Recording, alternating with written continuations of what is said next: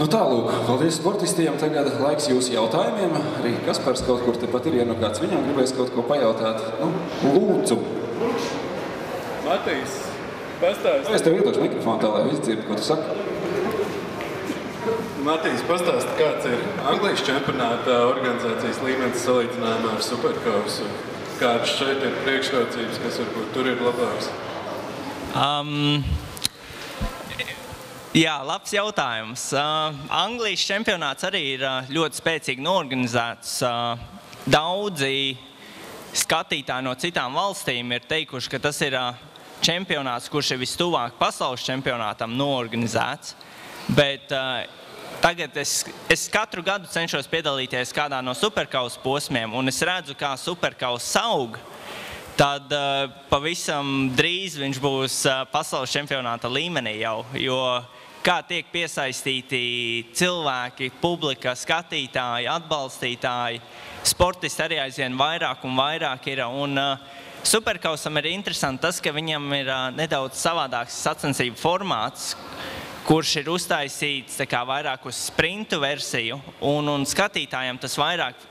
Skatītājiem vairāk tas patīk, jo ir lielākas cīņas trasē un lielāks azarts priekš skatītājiem. Tāpēc jā, ar katru gadu superkausa aug un drīz būs viņš pavisam liels čempionāts visā Baltijā, visā Eiropā. Vēl kādi jautājumi? Kā tu vispār iedomājies šo Rīgas posmu, ja jau saka, kā stadionā, kāds vispār varētu būt, kā tev pašam liekas?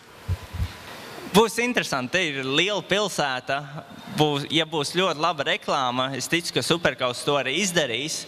Es ceru, ka būs ļoti daudz skatītāju, un daudz skatītāju pavilksies uz, tieši uz motocrossu. Jo, jā, tā kā uzstājas sacensības kaut kur ārpus Rīgas, ir ļoti fantastiski daudz cilvēku bet Rīgā nekad nav bijusi šādas sacensības. Es domāju, ka uh, būs daudz cilvēki un, un daudz cilvēkiem sāks interesēt tas motocross beidzot. Vēl kādam jautājumam? Vēl kaut ko izdomāju? Droši. August. Kas, kas vainojams pie sliktā sezonas sākuma? Pats galva, galva tehnika. Sezonā iesākās diezgan grūti, jo ir jauna tehnika. Un, veicām ļoti daudz testus un pārmaiņas ar motocikliem. Kā rezultātā starp sacensībām maz treniņi. Un, jā, tas viss lielais miks ietekmē manu rezultātu. Bet uh, tagad esam nonākuši pie galējā slēdziena, ar kādu motociklu startēt. Un, uh, es domāju, ka uh, tas pierādīsies jau Valkensvārdē, kad jūs redzēsiet uh, pavisam citā līmenī mani. Tad, tad turpinot par pasaules čempionātu, Lauri. Kāds tavs viedoklis par pasaules čempionātu? Vai tavā laikā arī bija tā, ka dažos posmos bija grūti pat 20 braucējus savākt? Un... Mm, tev jāizsakās precīzāk. Nu, Joprojām ir mans laiks. Tad, kad es startēju pasaules čempionātā. Nē, bet paldies, tu. Jā, jā, tā kā tu teici, vat manā laikā, nu labi. Tas ir, tad, kad sāku pasaules čempionātā braukt, tas bija jā, 90. gadu beigas. Un, bet tad, uz, tad bija trīs šīs lielās klases, 125, 250 un 500. Un uz katru no posmiem ieradās 70 līdz 80 motobraucēji. Un tad finālā tika tikai 40, un vēl mazāk tikai 15 guvušos ieskaitas punktus. Tagad uz sacīkstēm ir divas klases, tikai MX2, MX1. Uz katru no klasēm ierodas pa 30 sportistiem un iegūst 20 sportistu punktus. Tā kā ir, nu, tai ziņā ir ļoti liela starpība.